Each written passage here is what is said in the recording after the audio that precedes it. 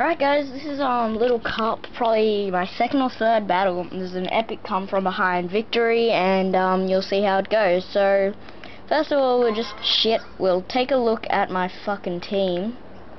And um you can see I've got Cubone, um Piplup, Sandile, Turtwig and um Chimchar and Axew. Uh, I chose the um Sinnoh starters because I just love them, okay, Barry? Just dick off, mate. So yep, we'll go. And I lead with Piplup. Shit.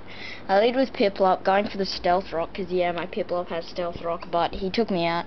I'm a fake out bastard, and um, and he misses the high jump kick, luckily, and I go for Acrobatics, yes, I know. Chimchar learns Acrobatics. Fucking hilarious.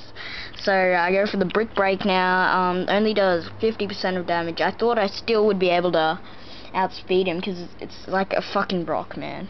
Seriously.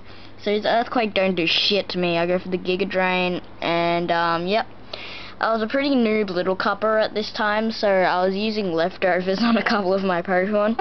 And, um, I just farted, guys. So, I toxic this Zigzagoon, because I can, I know how fucking deadly these things can be.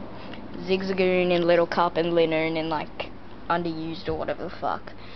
Never used, probably. Um, so this guy does decent amounts of damage. He um, thieves my life orb, which is kind of lucky for me.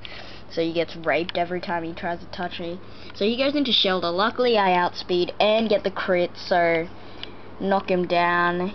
Pulls in Numel, calls it out again, goes for Misdreavus, almost does 69 damage. Um, goes for Shadow Ball, doesn't quite take me out. I get the three turn outrage and take out that Misdreavus.